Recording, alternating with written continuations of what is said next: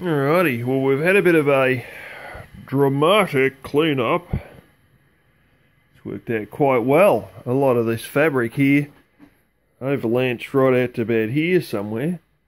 And uh, some collapsed back through here behind the uh, old ladders.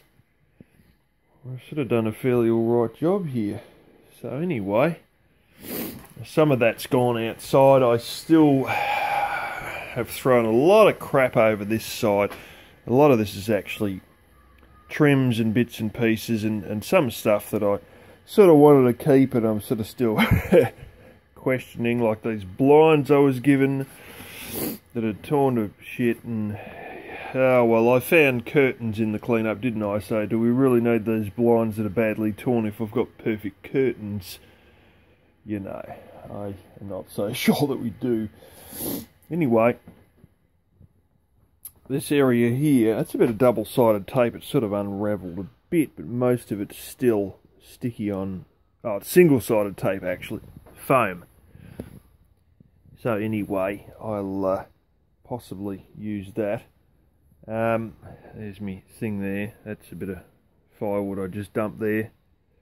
That's an evaporative cooler that I built using fabric.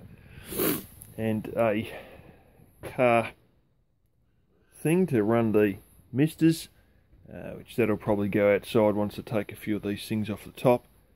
And uh, got a handful of things under there. There's actually another old pull transfer pump from the 80s under there.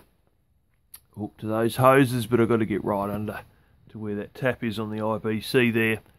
And uh, install stuff today, but once this is out the way, like this is a fairly clear area. So anyway, we've sort of uh, had a decent bit of a clean-up.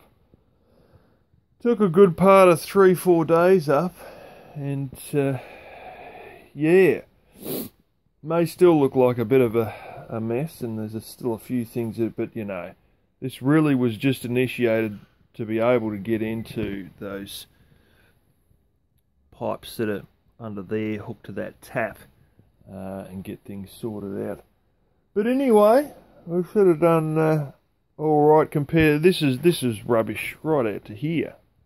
You you more or less you know. And then I had the wheelbarrow sat here, which I may bring it in again, but. Um, yeah, at least we've uh, got a bit of room to move